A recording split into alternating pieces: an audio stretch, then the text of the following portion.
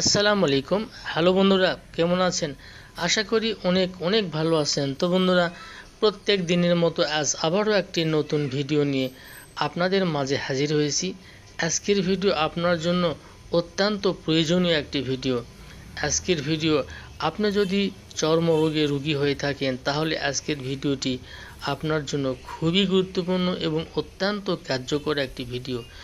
তো বন্ধুরা স্ক্রিনে যে গাছটি দেখতে পাচ্ছেন, আমাদের এলাকায় এই এই গাছটিকে গোলাপ গেন্দা নামে ডাকে। আপনার এলাকায় কি নামে ডাকে আমাকে কমেন্ট করে জানাবেন। তো বন্ধুরা, এই গোলাপ গেন্দা এত মূল্যবান একটি ভেষজ যেটা আপনি যদি ব্যবহার করেন, তাহলে নিজেই বুঝতে পারবেন যে এই কতটা গুণসম্পন্ন এই গোলাপ গেন্দা ভেষজটি।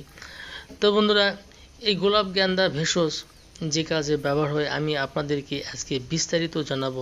যে ভাইয়েরা শরীরের বিভিন্ন চর্ম রোগ নিয়ে ভুগছেন, একজিমা, দাঁত, চুলকানি পচড়া এবং শিয়াল যে কোনো প্রজাতির চর্মরোগ আপনার হোক না কেন আল্লাহ রহমতে এই এই ভেষজটি যদি আপনি ব্যবহার করেন, তাহলে আপনার যে কোনো প্রজাতির চর্মরোগ আপনি অতি সহজেই দূর করে নিতে পারবেন।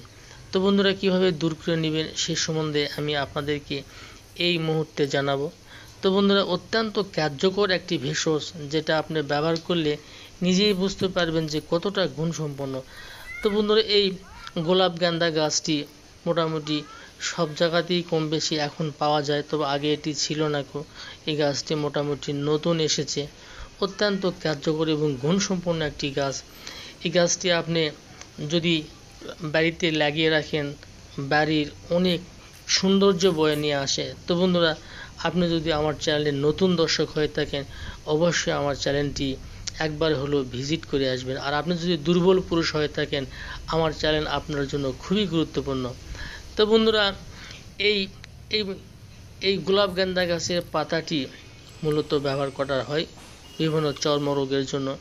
যেভাবে এই পাতাটি আপনি ব্যবহার করবেন, আমি আপনাকে বিস্তারিত এই মুহূর্তে জানাই দেব।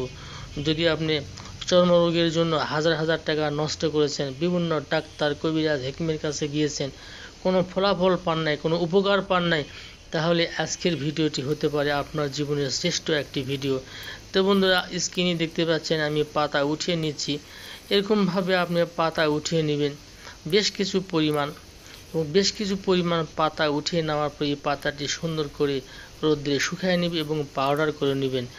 নামার পরে ছোট্ট একটি বোতলে এই পাউডারটি সুন্দর করে পাউডার করে নেবেন। নামার পর ছোট্ট একটি বোতলজাত করবেন এবং সেখানে নারিকেলের তেল, কিছু পরিমাণ ঘন করে মিশ্রণ করবেন করে আপনার চর্মস্থানে আপনি নিয়মিত ব্যবহার করবেন। আশা করি এক থেকে দুই সপ্তাহের মধ্যে আপনার চর্ম ঘা একেবারে স্থায়ীভাবে সেরে যাবে। তো বন্ধুরা কেমন লেগেছে আমার আজকের ভিডিওটি? কমেন্ট করে কমেন্ট বক্সে জানাতে ভুলবেন না। যদি আমার এর ভিডিওটি ভালো লাগে, এরকম নতুন নতুন ভিডিও পেতে আমার চ্যানেলটি সাবস্ক্রাইব করে রাখুন। আল্লাহ হাফিজ।